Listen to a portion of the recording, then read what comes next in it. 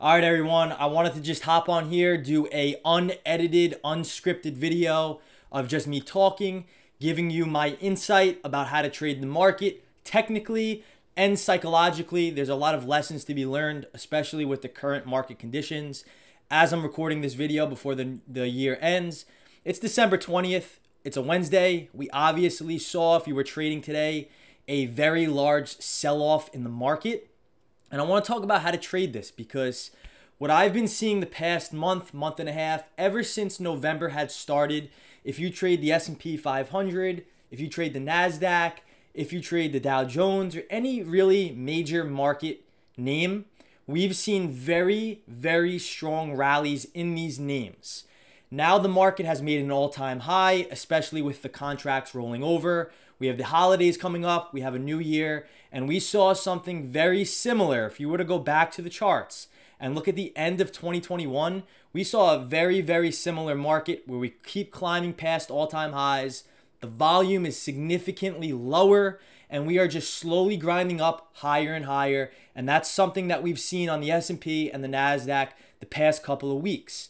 Now, I've seen a countless amount of people trying to short this rally up. Now, for me personally, one of my rules of thumb is to not short a market when it makes an all time high. So let's just take a step back a second and we have to understand how a market auctions and how it facilitates trade. An auction, specifically a market such as the stock market, no matter what instrument you trade, forex, futures, options, the market simply will move up until the last buyer buys and the market moves down until the last seller sells. Now, when the market's making an all time high, there is zero downside pressure in the market, meaning there is zero pressure to traders who are buying an all time high break. There are shorts built into the market. Bulls are happy, especially if the thing keeps climbing up and up. In fact, those who are shorting the market without understanding this concept technically are buyers. Now, what we've seen in the S&P 500 just looking at this chart ever since the start of November, we've consistently made higher highs and consistently made higher lows. Now, this rally has simply been fueled by traders trying to short breakouts to the upside and trying to call a top or catch an upside reversal. Now, if you're scalping the market, the rules can be tweaked a little bit because, you know, if you're scalping, you're really looking to capitalize on like quick, short term price fluctuations. But if you're looking to catch a top and call in a high and trying to catch a really large reversal in the market, if you try to do so on any single high that was made in the past month, month and a half, ever since November started, you would have been screwed. Now, shorts, when they enter the market, technically are buyers. So if a short is coming into the market, for that short to exit a position, a short has to buy to cover. So technically, how I view shorts are last buyers in the market. Now, the market will simply move up until the last buyer buys. So what we've seen since November started on the Nasdaq, on the S&P, on the Dow, other equities, even forex uh, instruments, we've seen the market continue to rally up and up. And this was partially fueled by shorts trying to capitalize on reversing the market and trying to call a top. The market will move up until the last buyer buys. If shorts continuously get squeezed out, that's just going to further cause an upside rally and more short covering rallies up. Once shorts become not squeezed, and until shorts become bullish. So when everybody that was bearish turns bullish, that's when you will most likely everything comes down to probability. So everything that I'm saying cannot be used 100% with accuracy. Everything in the market comes down to probabilities. Like you're never ever going to be able to buy the bottom and sell the top. You just have to trade when the odds are in your favor or when the probabilities are to your advantage. So once shorts stop becoming squeezed. And once shorts or bears turn bullish, that is when we get that downside pressure. And that's when a lot of the times we see a lot of reversals coming into the market. If we were to go back to the end of 2021, the start of 2022 when the Nasdaq and specifically in this example, the S&P 500 made all-time highs. Let me see if I can go to the chart here. You can see it on my screen now. I'll share my screen. Here's an example on a daily chart when the S&P 500 made an all-time high at the end of 2021, start of 2022. What we can see here is the market had a very large rally and then the market formed a consolidation high and then eventually broke that high. Once the last shorts get squeezed and the shorts turn bullish and the shorts stop out and that buying activity gets shut down, that's a good indication that downside pressure is evident and a reversal could come. Again, this is a daily chart on the S&P at the end of 2021, start of 2022. Now, if we were to look at today's action on the 20th of December, we can see a very similar chart, but now this is on a 15 minute chart. We could see the market had a very strong rally. We could see consolidation, and then the market broke that high and then had a very large sell off. We can also see this on an intraday perspective. This rally where my cursor's at right now is when the market opened at 9:30 a.m. Eastern Time. We got a very large rally. In fact, a very good friend of mine and those who are in the InvestiTrade community, you know Dylan.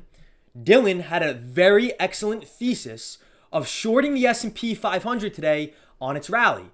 The VIX was had a very large divergence. The VIX was rallying, so that was kind of an indication that this move may be fake or this move may get sold into. Again, the market always leaves its clues. And our job as traders is to read these clues to the best of our ability.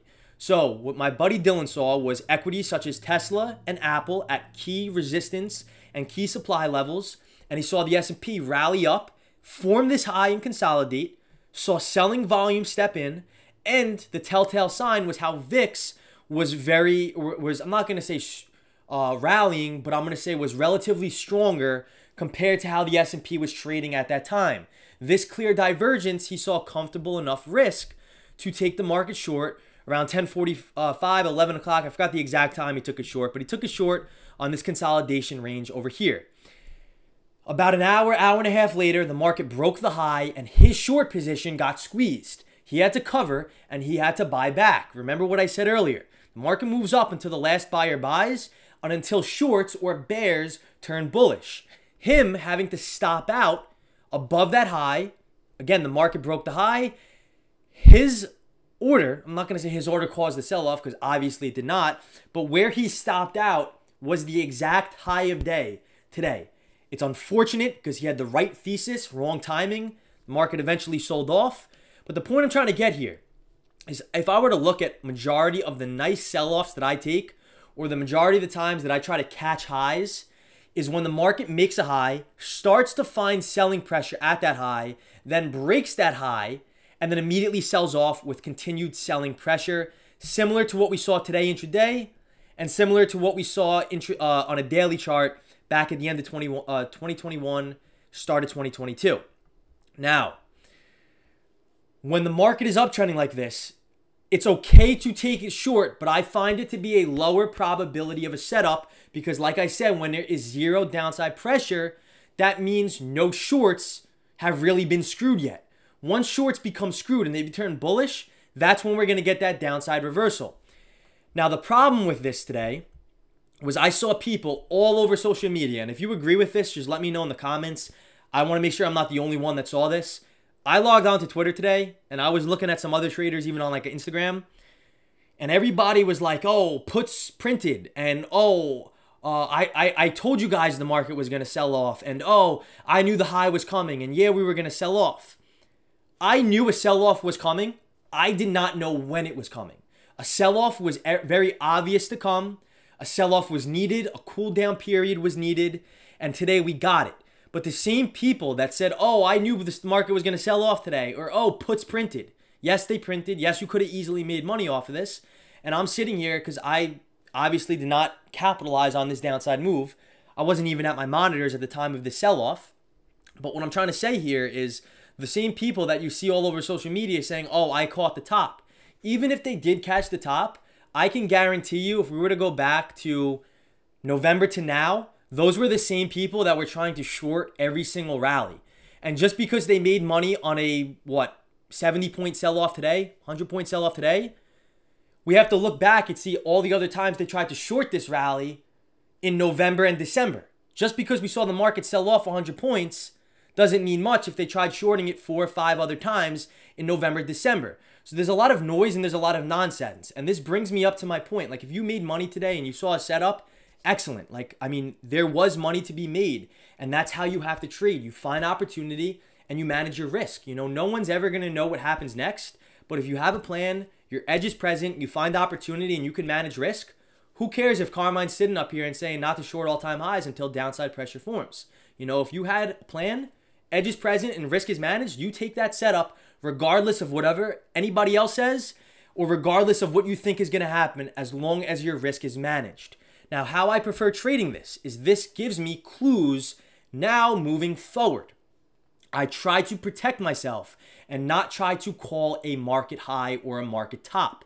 The market is constantly presenting new information on a daily chart, on a five minute chart, on an hourly chart, right? This new information we must be able to read properly and understand the story the market's telling us in order to take quality setups based off of this new information. It's a it's a it's a constant uh, mechanism that's developing new information, and our job is to read this information. So, how I read this information, especially when the market is acting the way it is, is now that we have downside pressure forming, now we have shorts built into the market, we have prices that are above us where shorts are built in, we have longs who are going to be screwed that we're longing the uh, rollover, that we're longing this all time high breakout. If these guys start going underwater, these longs, that's just going to further cause a sell off down. And if shorts continue to put pressure, this downside risk or this downside pressure is just going to further cause more of a sell off. So instead of trying to call a top or catch a market high, don't feel bad that you missed maybe the short today because I know a lot of people watching this, including myself, missed the short side move. And there was a shit ton of money to be made today. Insane amounts of money could have been made today. And yes, I'm sitting here with some type of FOMO. Absolutely. I can't sit here and say, like, oh, you know, that um, I feel great that I missed this move because I don't. It was a solid sell off with a lot of easy money to be made if you got a good entry. But new information the market's presenting is going to give us an opportunity now, tomorrow, next week, to start the new year. That with this sell off, it's going to give us clear signs of what the market could possibly do next. So, now going back to what I said earlier about not shorting the market when there's zero downside pressure. Now we have uh, zero. Now we have downside pressure. So what I like doing is I like focusing. If I were to go to a five minute chart, I like focusing on the action that I saw from today's sell off. And if I were to go depth in depth in my levels, this would take another 30 minutes of this video. I try to post all my levels every single day in the Discord of exactly what I'm watching. But now that we have this sell off, we have things that formed from this drop that's going to give us clues about the market's next move. If we move up, you want to see the sellers that formed on this drop defend price at important key levels of resistance, key levels on the tape, and key levels of supply. This is talking about the S&P, the Nasdaq, the Dow Jones, forex, crypto. The concepts all relate no matter what you trade.